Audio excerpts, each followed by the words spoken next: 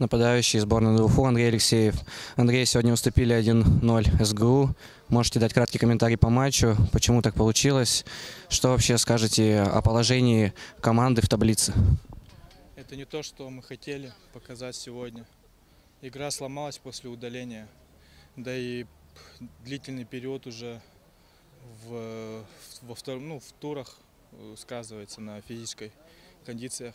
Тяжело бегать пацанам. Мне лично тоже.